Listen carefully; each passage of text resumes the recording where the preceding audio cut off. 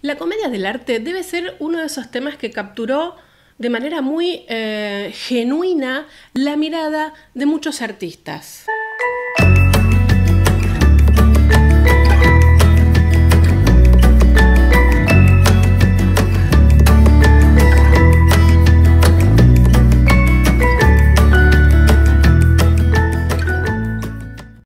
Bienvenidos una semana más. Hoy tenemos un temazo. La comedia del arte, eh, como lo dije al inicio, es un tema que capturó eh, la atención de muchos pintores y también escultores.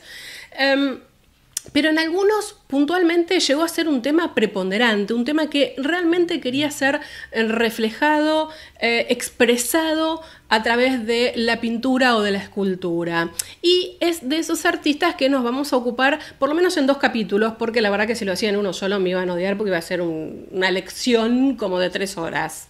Empecemos por el principio. ¿Qué es la comedia del arte? Bueno, es un tipo de teatro, eh, un estilo de teatro que nace en Italia a partir del Renacimiento, estamos hablando más o menos del siglo XV, em, en distintas regiones de Italia.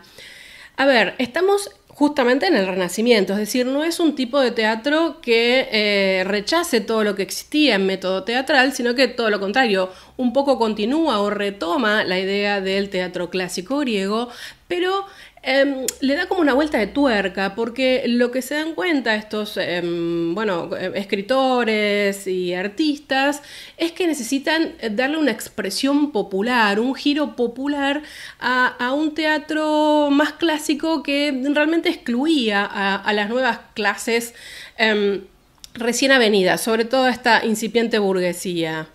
En ese sentido, eh, hay como tres hipótesis de, cómo se deriva este género en sí, em, y tienen que ver, por un lado, con, eh, por supuesto, la, mm, digamos, del teatro clásico italiano que se venía desarrollando desde siempre.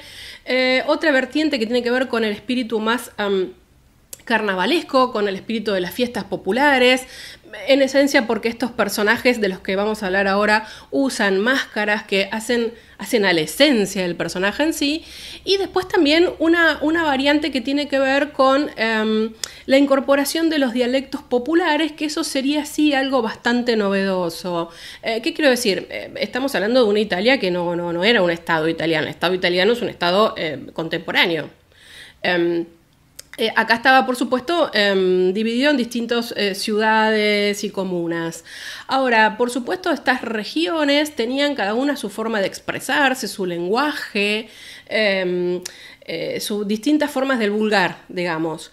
Y un poco lo que expresa la comedia del arte es eh, justamente esta, esta manera, este, estas formas del lenguaje que se van dando en cada una de las regiones y configuran ciertos personajes típicos. ¿Y cuáles son los recursos temáticos de, la comedia del arte? Bueno, en general es algo bastante típico que genere algún espacio para la comedia. Por ejemplo, dos enamorados, Florindo e Isabela, que, quieren casarse y eh, sus padres eh, sus familiares, eh, il dottore, em, il dottore con el acento típico boloñés, porque es recibido como doctor en la Universidad de Bolonia, eh, o el capitán, se eh, oponen a, que sus hijos em, se casen, es un amor prohibido. Y la gracia en todo esto está dada por los, los que son los, eh, los criados, el arlequín, la novia del arlequín, em, que son los que hacen toda la intriga, hacen el toma y daca, el lleva y trae em, de, todas estas, eh, de todas estas historias.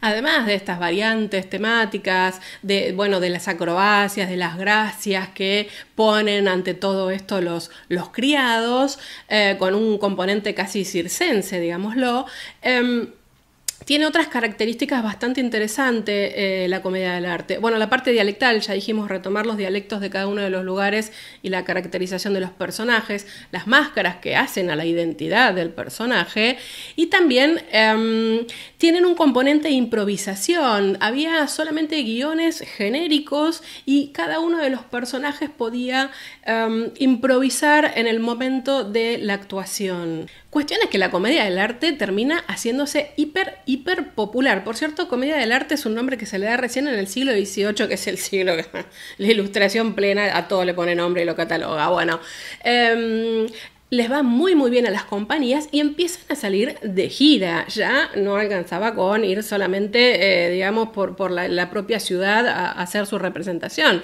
sino que empiezan a moverse por distintos lugares de Italia inicialmente y luego eso, bueno, se expanden realmente al resto del continente. Había compañías italianas em, haciendo presentaciones, ¿no? Performance en Rusia, en España. Bueno, en Rusia fue absolutamente demandada y valorada la comedia del arte hasta, bien entrado el siglo XVIII, en España siglo XVI, siglo XVII, em, en Francia también siglo XVI, siglo XVII, y además se van eh, formando también compañías itinerantes locales de cada país. Es lo más parecido a lo que hoy conoceríamos como la dinámica del circo, aunque está un poco agotada.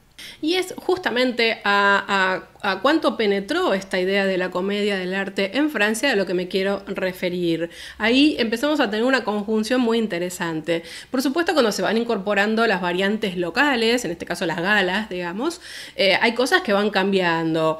Eh, eh, digamos que la comedia del arte en el caso de, Francia, bueno, incorpora un poco también la idea de la poética, se hace un poquito más refinada, tampoco mucha cosa. Los personajes, eh, no todos, pero algunos de los personajes o la mayoría de ellos pierden la, máscara. Se, trabaja directamente sobre maquillaje o directamente no lo tienen, es la representación directamente del actor. Em, y bueno, ahí tenemos a Molière también, ¿no? Con la comedia, se incorpora la farsa, la picaresca, es decir, tiene un abundante desarrollo y bastantes variantes. Y por supuesto, este tipo de adaptaciones implican que el típico arlequín eh, que teníamos en, la comedia del arte italiana, bueno, pasa a ser, eh, por ejemplo, el Pierrot en, Francia, o que, bueno, el, el, galante arlequín que cantaba pasa a ser Messetin, o sea, empiezan a tener nombres em, locales. Por supuesto, tanto en Italia como, como, en Francia, como en la comedia del arte en general, no me quiero olvidar porque esto es muy importante para lo que vamos a hablar de ahora, en algunos lugares estuvo hasta incluso prohibida porque se lo veía como algo vulgar, algo grotesco, algo grosero, esos tipos que vivían ahí en el bosque y venían, se instalaban y hacían una comedia y se iban. Incluso, bueno, en el Faubourg de Saint-Germain, que era donde se representaban este tipo de comedias, estuvieron prohibidos los comediantes italianos porque bueno, parece que en alguna de las improvisaciones que hicieron se terminaron burlando de eh, Madame de Maintenon, que era la, bueno, la amante principal de, Luis XIV. Y es en esta idea de la... Em, cierta marginalidad que tenían estas compañías y un poco la idea de lo prohibido de ir a ver el teatro de los comediantes italianos o ir a ver comedia del arte en general, no importa cuál fuera la compañía, se veía como algo medio al borde. Entonces, de hecho, bueno, muchas veces empezaron a estar afuera de las ciudades. Em, esto nos permite introducir la figura de Watteau. Watteau es un eh, pintor que nace en, Valenciennes, eh, que en ese momento era una localidad flamenca. Bueno, va y viene, va y viene, está como ahí como en el borde. Em, y, es, y es un personaje muy, muy especial. Jean-Antoine Bateau es hijo de un em, techador, artesano techador, es decir, no tiene un contacto, digamos, inicial con el mundo del arte, al menos desde la familia, que era algo bastante habitual, ¿no? De los casos que venimos hablando. Pero él a los 11 años ya en su ciudad natal empieza a estudiar decoración y pintura y bueno, también eh, ahí tiene la impronta de los maestros flamencos, ¿no? Luego él se traslada muy jovencito a, París a, probar suerte, es rechazado en la Academia de Bellas Artes de París, después será incorporado, ¿no? Pero eh, inicialmente lo rechazan. Em, y es un personaje bastante extraño para la época, por lo menos Bato, por ejemplo, se iba con el caballete al, costado del río, a los puentes del río Sena, a vender a la feria, es decir, pintaba y vendía a la feria, como hoy por hoy lo podemos ver, no sé, en Buenos Aires, en la feria de San Telmo, o en cualquier mercado, em, eh, o en la Plaza Duterte, o digamos, en, cualquier lugar, hoy por hoy no es tan raro encontrar a alguien que pinta y te, hace un retrato, algo y te lo da en el momento. Bueno, créanme que en esa época, estamos hablando de inicios del siglo XVI 8, eh, claramente eso no existía. Eh, es, alguien que de alguna manera mm, comparte esta idea media bohemia, media de marginalidad. Eh, él, por supuesto, le va muy mal en, París, eh, la pasa mal, se vuelve a su ciudad, trabaja en decoración y luego ya vuelve a París con una mirada mm, bastante distinta. Por un lado, empieza a ser un pintor bastante reconocido, exitoso, es aceptado en la academia. Incluso la academia termina em, poniendo, creando un género nuevo para él, que es la pintura galante las fiestas galantes en realidad, eh, porque no tenía dónde encajar lo que, eh, lo que hacía, lo que pintaba Bato. ¿De qué estamos hablando? Bato toma un contacto muy eh, Em, cercano con el mundo del teatro, de, mm, de, la comedia, del arte, y empieza a reflejar estos personajes un poco mezclados con em, esta nueva burguesía ya floreciente del momento del rococó, ¿no? fines del barroco e inicios del rococó. Y mientras miramos este Pierrot contento, podemos hablar de las dos cosas, de la comedia del arte y de este género creado por Bateau justamente lo que vemos aquí de Fiesta Galante, bueno, tiene que ver un poco con el entretenimiento, la música, una escena tipo teatral, la conversación, siempre en escenarios naturales. De hecho, bueno, acá vemos a Pierrot, o sea, el arlequín, que era, el, eh, digamos, el personaje más popular en la comedia del arte, sentado entre dos damas. Una tiene una guitarra que está cantando, y acompañado de Mesetán, que es ese personaje también em, de la picaresca, pero súper elegante y, bueno, supuestamente medio astuto también. Y está como en el rincón de un jardín, ¿no? Que tiene como... Eh, hay alguna cosa interesante que es que tiene un dios pan ahí atrás, una estatua del dios pan se supone que también ahí mismo, donde estaba la estatua del dios Pan, había otros dos personajes que estaban por eh, saltar para, em, bueno, para asustar a, este grupo que estaba ahí muy entretenido. Em, hay algo que tengo que decirlo de las pinturas de Bateau, que a veces es muy difícil verlas en detalle, eh, incluso aunque sean sometidas a cierta restauración. Bateau lo que hacía algunas veces, su propia técnica era eh, hacer una primera parte de pintura, pasar barniz y volver a pintar arriba y pasar barniz y terminar y así. ¿Qué es lo que pasa con esto? Él creía que de esta manera se mantenía mejor la pintura así. Eh, el tema es que el barniz se va también oxidando, se va ensuciando y no hay forma de limpiarlo, porque si uno puede limpiar la última capa de barniz, pero si él mete, eh, mete no, metió em, barniz en el medio de esas capas de pintura, no se pueden limpiar bien, con lo cual están muy oscurecidas y se van perdiendo muchísimos detalles. Lo que me interesa resaltar en esta, en esta obra tiene que ver un poco con, con el espíritu de lo que transmite el personaje de Pierrot. Eh, esta es una de las obras más tempranas que, eh, hizo Bateau sobre este tema. Em, pero, pero es interesante porque em, Pierrot era un arlequín inicialmente que, bueno, iba entre lo necio y lo cómico, era a veces bastante astuto, a veces bastante tonto, pero era como un personaje medio de extremos. Y acá eh, lo refleja medio con la mirada media ida. De hecho, se llama Pierrot contento porque se lo publicó así luego después en un grabado eh, bastantes años después, no sabemos qué, nombre le habrá dado Bato a esta, a esta obra en sí. Incluso eh, me, quedé pensando ahora, si vemos a, a, Mesetán que está ahí al costado, ahora lo vamos a ver en otras situaciones, pero bueno, eh, Mesetán siempre es como el, el, que está bien arreglado, el más galante, el más así entrador, y ahí está como una actitud media contemplativa también, como media, media ida. Es, eso es una obra para, para observarla en detalle. De hecho, algo de, este ámbito también vemos en este, esta obra que se llama Las dos parejas, donde también vemos a Mesetin, vemos a Pierrot. Pierrot está de espalda, no podemos ver su, su expresión, no podemos saber cómo es su estado de ánimo. Esta obra fue considerada absolutamente vulgar y grosera, así como se los digo, ustedes dirán de qué estás hablando, porque bueno, así como lo traducimos al español como Las dos parejas, en francés se llama eh, Le parti, La partie eh, es decir, como mm, el encuentro de cuatro la reunión de cuatro, la fiesta de cuatro. Em, entonces, bueno, se entiende que estas eh, parejas que están ahí están, bueno, insinuándose para tener algún tipo de em, fiesta alocada. Entonces, eh, bueno, eh, fue bastante criticada esta obra, pero bueno, una criticada toda la obra de Bateau, digamos todo. Siempre lo tenemos ahí a Mesetán, que todo elegante con supuestamente su amor medio desdichado, que se junta con estas dos mujeres, y bueno, aparece ahí em, Pierrot. hiper característico la vestimenta, eh, los pantalones así medios cortos. Bueno, en este caso está también acompañado de un instrumento. De hecho, eh, cuando se habló y se criticó bastante esta obra, bueno, se señalaba em, la idea de que Pierrot tiene el, sombrero tirado hacia un ala. Es como algo absolutamente descarado. Y ahora nos vamos a meter con Mesatán. Mesatán es como eh, el típico enamorado que su, amada nunca le presta atención. Esta, esta obra de Mesatán, que es fantástica, miren lo que es la expresión, lo vemos a él ahí cantando, ¿no? Cantando al amor, cantando sus penas de amor, su, su, mala fortuna, incluso si ven de fondo en este ambiente natural, ¿no? Que típico de las fets galantes, vemos que hasta en la escultura le da la espalda a nuestro pobre Satán. Y ahora llegamos a este momento que yo estaba esperando, voy a decirlo, que era hablar de este Piagot, hecho en 1721, año en que eh, murió eh, Bateau, murió muy joven.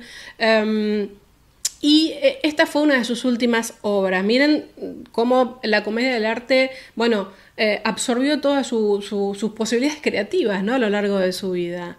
Lo que llama la atención de, este, de esta obra, de este lienzo en sí, es el cuidado compositivo que tiene Bateau eh, em, cuando hace esta representación. Lo que hace Bateau es enfrentarnos a un Piagot, un, Piagot desproporcionado en el tamaño, que, que se nos planta ahí de frente y en vez de ser ese personaje, como dijimos, tan desenvuelto, em, tan carismático, que eh, se representa en la comedia del arte, más bien tiene una actitud Em, totalmente distinta, melancólica, triste, tímida incluso, ¿no? Viste de blanco, los típicos eh, pantalones que le quedan cortos, en el pie lleva, em, en los pies lleva unas zapatillas eh, con dos lazos de, color rojo.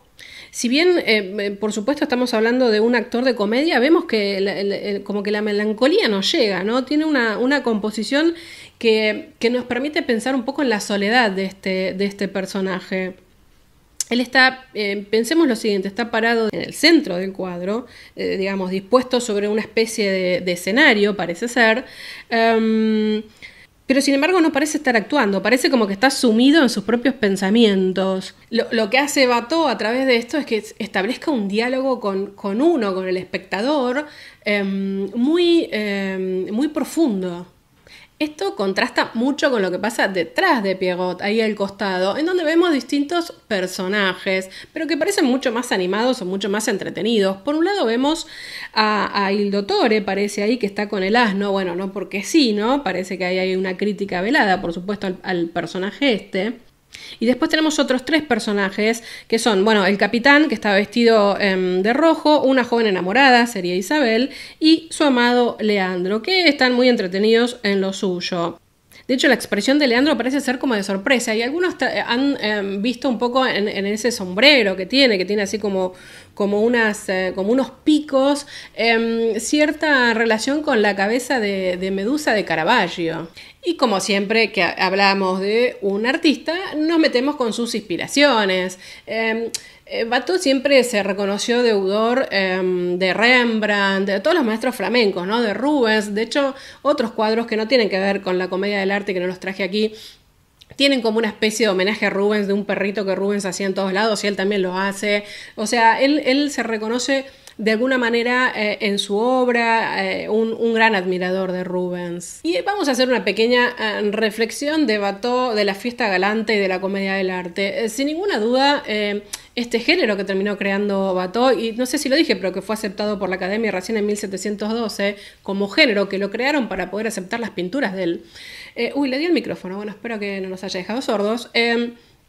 Eh, de alguna manera refleja también la sociedad del momento. Ya les dije, estamos en este tránsito entre los finales del barroco y el inicio del rococó.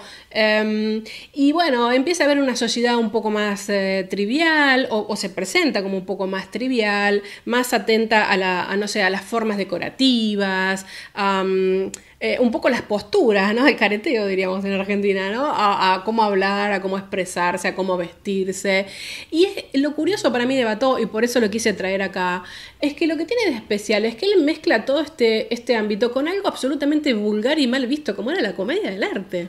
Es muy importante que nos quedemos con esta imagen del Pierrot de, de Bateau, porque lo que hace Bateau es inaugurar una forma de interpretar a estos personajes totalmente distinta. Se sale de la idea de la comedia del arte en términos de eh, la gracia, el, arlequino gracioso, acrobático, que divierte, y nos lleva un poco más a la figura humana de, de, de Pierrot, por ejemplo, en donde vemos a alguien melancólico, alguien que hace reír, pero que en el fondo está solo, em, como esa sensación de ausencia permanente que tiene el arlequín. Bueno, esta configuración casi psicológica, más sentimental de los personajes de la comedia del arte, sobre todo de Arlequino, es algo que va a impregnar a em, la mirada de todos los que se dedicaron a pintar Arlequín desde entonces. O sea, no es poca cosa. Em, de hecho, es un tema que se toma, si se retoma muchísimo en el impresionismo y en el posimpresionismo. Pensemos en Manet, en Renoir eh, em, y en Picasso mismo, em, que, han, que, han, quedado fascinados por el mundo de la comedia del arte, pero que le han entrado a, los personajes de una manera un poquito más, em, no tan burlesca, no, no tan comediante, no tan teatral, sino quizás puede ser teatral, pero en un sentido un poco más melancólico. Y es justamente de Picasso, eh, de quien nos vamos a ocupar en una segunda entrada de la comedia del arte. Realmente hizo una selección Em, me pareció que hablar de la comedia del arte inicialmente era hablar de Bateau, pero por supuesto hay muchos otros artistas que lo retoman. Y me parece que cuando hablamos sobre todo de las figuras más de vanguardia, del postimpresionismo en adelante, hablar de Picasso es alguien que también tuvo casi una obsesión con el circo y con, con las figuras de la comedia del arte que ya para ese momento se estaban diluyendo como tal, porque eh, es un género que en el siglo XIX, inicio del XX ya prácticamente no existía. Lo que vamos a tratar de ver en, el próximo encuentro es la obra de Picasso y tratar de responder, de respondernos algo que quizás ustedes me pueden ayudar con los comentarios. ¿Por qué creen que eh, la comedia del arte, que los personajes de la comedia del arte capturó la mirada de tantos pintores? ¿Qué creen que veían en el Arlequín, en el en el en Mesetán, en, este galante, digamos, en el capitán, en el doctor, ¿qué creen que encontraban en esas historias? Hasta aquí la entrada de la fecha. Nos vamos a ver en una parte 2, que no creo que lo haga para la próxima, porque si no nos vamos a agotar. Por ahí dejo pasar un, par de entradas y en algún momento nos vamos a, poner eh, a hablar nuevamente de la comedia del arte, ya con una, con una, con una evolución, porque es una comedia del arte eh, ya un siglo y pico posterior de lo que estamos hablando de eh, Bato. Muchas, muchas gracias. No olviden de suscribirse. Agradezco em, y valoro muchísimo cada suscripción y por supuesto cada me gusta, cada like, porque bueno, uno sabe que, que lo incentiva a seguir. Espero que les haya gustado este tema. Es un temazo la comedia del arte. Si ustedes supieran todo lo que cada tema uno lo prepara muchísimo, ¿no? Por supuesto. Eh, pero la comedia del arte yo no dejo de bajarme tesis y cosas. Lo que pasa que, bueno, no, puedo estar hablando seis horas de la comedia del arte, tengo que resumirlo. Pero eh, da para una parte dos seguro. Y si a partir de estos dos capítulos a ustedes después les interesa indagar en algún aspecto puntual, por supuesto están invitados a sugerírmelo. Les dejo mis contactos de redes abajo en la caja de descripción y también estuvieron seguramente pasando por acá. Nos vemos la próxima semana.